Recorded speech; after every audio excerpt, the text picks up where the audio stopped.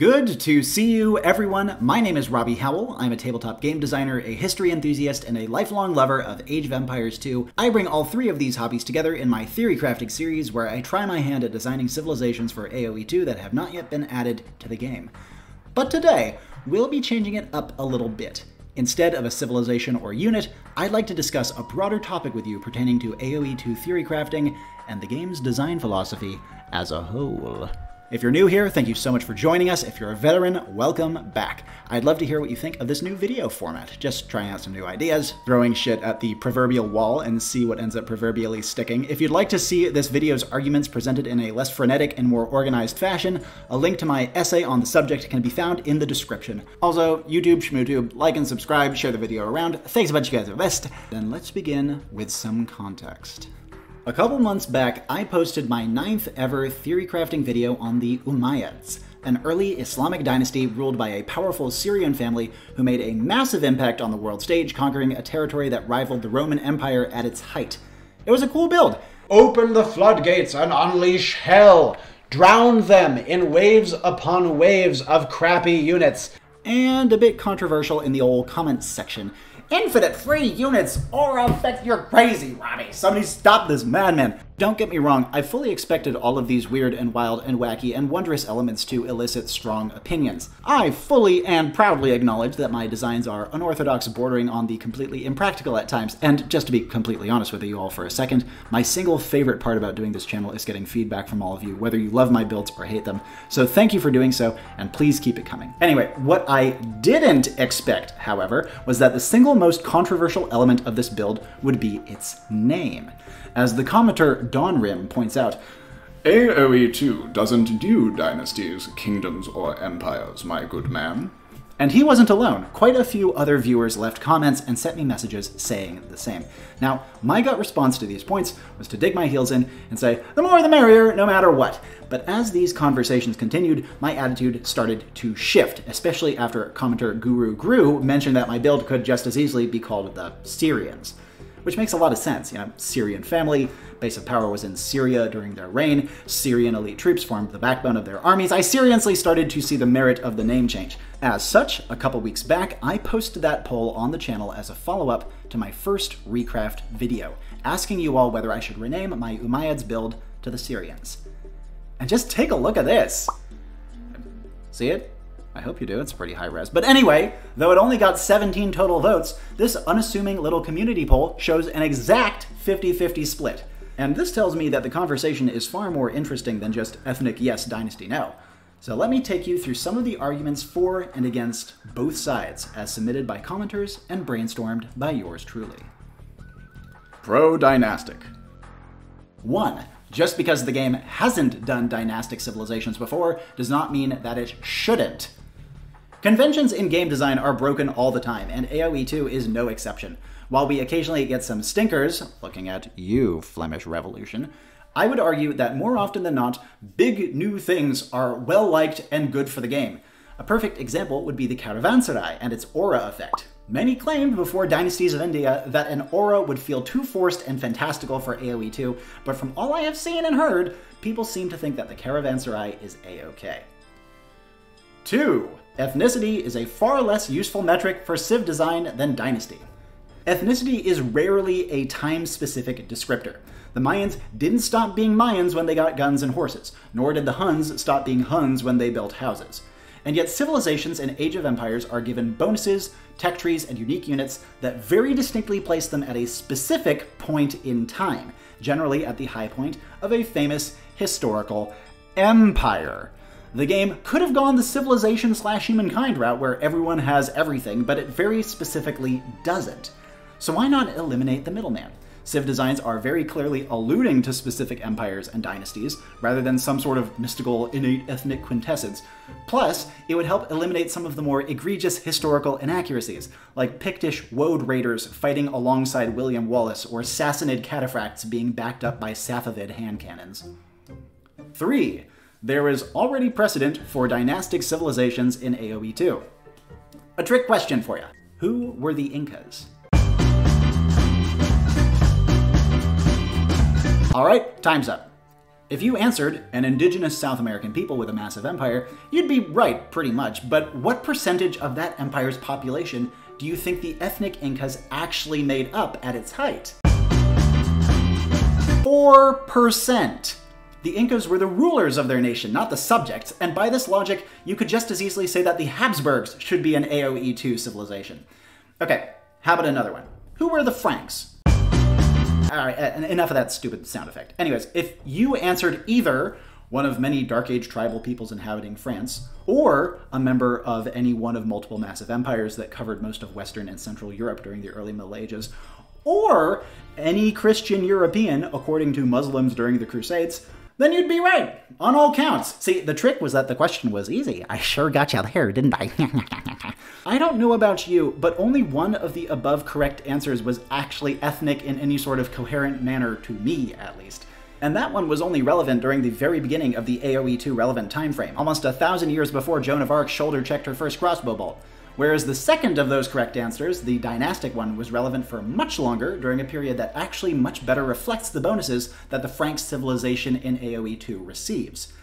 Now, don't get me wrong, this is definitely the most persnickety and um, actually point of the bunch, but I do still feel that it bears mentioning, since as we will shortly see, many of the counter arguments to dynastic naming revolve around consistency and tradition. But feel free to disregard this one as quibbling nonetheless. In fact, feel free to disregard any of these arguments as quibbling. In fact, feel free to disregard this entire video. 4. It's not called Age of Ethnicities. Maybe it's just the pedant in me, but saying that empires aren't allowed in a game about building an empire that's called Age of Empires uh, seems real dumb to me. Like going to an ice cream parlor and having them tell you the only thing you can have is milk. Anti-dynastic, Mr. Fantastic. 1. Conventions should be respected, even when seemingly arbitrary. Riddle me this why are unique units almost always made from a castle? Why do you almost always start random maps with a town center, three villagers, and a scout? Why do civilizations pretty much always have between three and five bonuses plus a team bonus? Why? No historical reason, I can assure you of that. At some point back in 2000, one of the game's original designers thought that these random choices would work out, and I'd damn well say they did. Are these conventions never allowed to be broken? Of course not. The game does it all the time, but pretty much only ever for a couple of civilizations at a time. Something like dynastic naming would require a fundamental change to pretty much every civilization, an overhaul so substantial that at that point you may as well make a brand new game. And I'm sure we all know how popular that would be. 2 ethnic designations are more flexible than dynastic. While historical absolutism is my bread and butter, it's certainly far from a universal preference. Most people want the game to be streamlined, accessible, and fun more than they want it to be accurate. Take the Japanese trebuchet, for example. Totally ahistorical. And the bloody thing even has an entire technology solely committed to it. it. Makes my skin crawl just thinking about it. But even I can agree that it is probably better for the game's balance, as it currently exists, for the Japanese to get the trebuchet. And Kataparuto seems to be pretty well liked as a technology. Microing trebs is certainly a lot of fun. And it is certainly much easier to accept a historical inaccuracy like this when a civilization is framed from an ethnic perspective. Like I said earlier, pretty much every ethnicity has had access to pretty much every technology at some point in history. 3. Ethnic groups tend to be more recognizable and catchy than dynasties. When I first booted up Age of Empires 2 back in 2000, I didn't know a damn thing about history. So who did I choose to play? The Britons! Mandatum? Of course, because even though I was only six, I had at least heard of them before. Now imagine if the game were dynastic. Would little six year old Robby have been hooked by the Mercians, the Angevinians, or the Wessexexians? How the hell would you even say that? Wessexian way less approachable for anyone who doesn't know history. And good luck pronouncing any of those when you're six.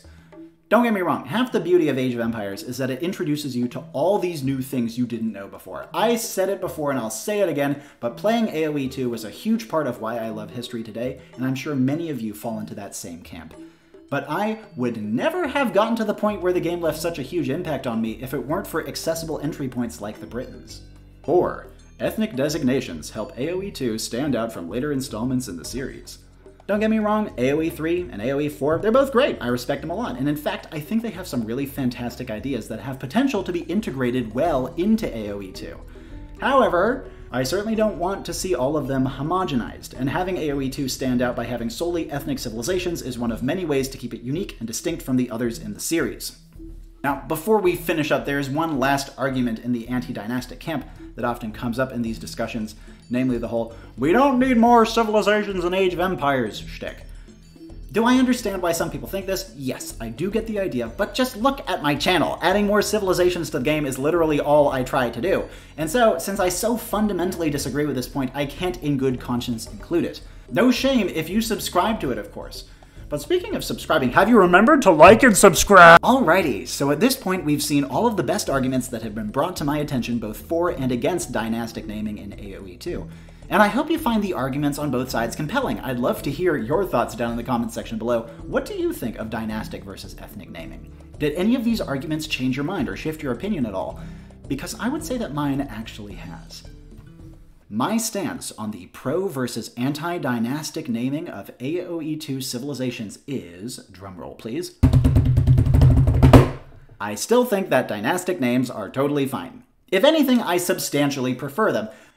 However, even with all that being said, I still plan from now on for my own civilization designs on this channel to be ethnic, at least for the time being. Why? Well, even though a large part of what I do here on the channel is about breaking conventions and pushing the limits of the game as much as I possibly can, I don't want to throw it out the window all at once. And I think that this topic is far more important than a bunch of haphazard theory-crafted designs can properly do justice to. And also, at the end of the day, I am not against restricting myself in the scope of my designs, even if it is semi-arbitrary. Restrictions improve creativity, while also adding an element of challenge. And challenge, my friends, is fun. But that is just what I think. Now I want to hear your thoughts on the topic. Please do share them all in the comments section down below. And also, what did you think of this style of video? I don't really see myself doing it very often, but if people enjoy it, there are definitely some other topics that I could see giving this sort of in-depth discussion treatment to down the line. And if you want to see an example of the ethnic versus dynastic topic in action in one of my civilization builds, join me next week where I will be tackling a civilization that I considered a grand total of seven different names for, four of which were ethnic and three of which were dynastic. It's a great civilization with a really cool history, and I think you'll like the build, so make sure to catch me next Friday for the release. Once again, if you prefer to read through my arguments in a more professional and organized manner, check out my full essay linked down in the description below. And as always, my name is Robby Howell. And ciao for now.